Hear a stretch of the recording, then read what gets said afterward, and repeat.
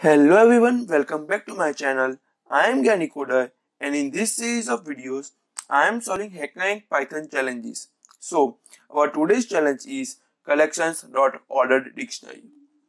And ordered dictionary is a dictionary that remembers the order of keys that were inserted first. If a new entry overrides an existing one, the original inserted position doesn't change. Here, as you can see in the example, when we use a ordinary dictionary, and insert some elements then getting a random sequence of the elements. But when we use the order dictionary then we are getting the sequence as they were inserted. Now let's see the task. You are a manager of a supermarket.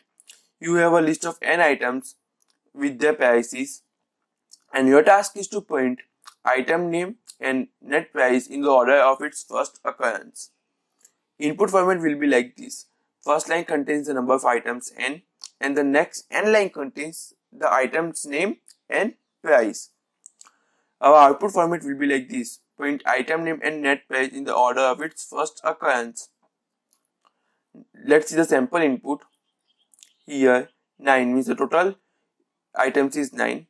Now banana, fries, potato chips, apple juice, candy, apple juice. As you can see, the apple juice occurs second time but its initial position doesn't change which is the third position it doesn't change. We have to just update our value. Now let's code. We are first going to input our module. So from collections import order dictionary. Now we are going to initialize our order dictionary. So let's check the variable of od is equals to order dictionary. Now we are going to use for loop to take the values of items name and their price. So for i in range integer input. Now item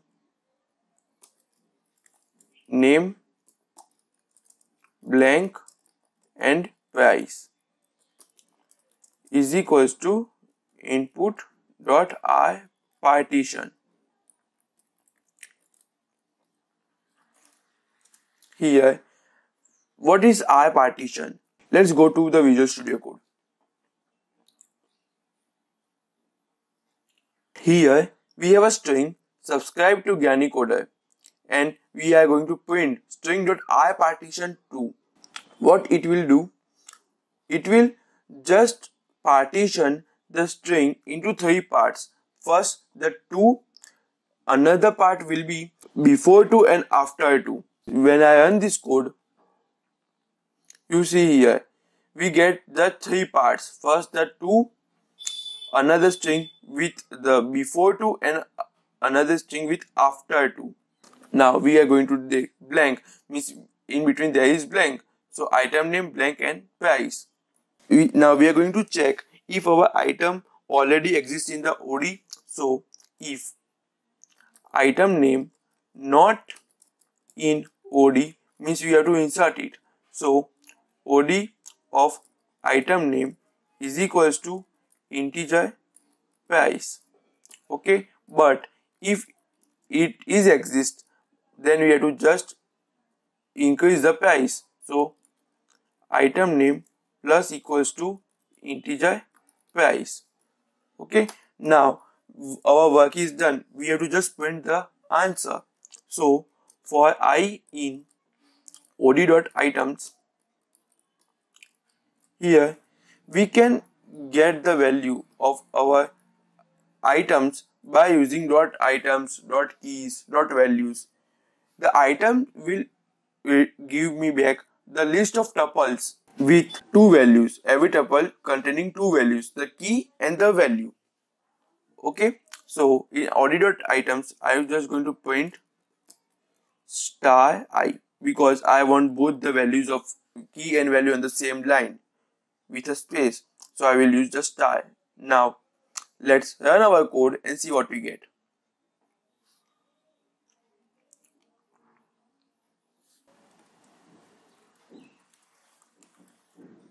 Okay, so let's run our code and see what we get.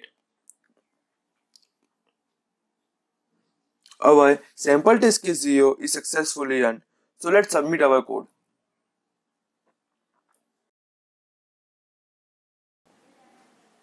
Our all 6 cases is successfully run.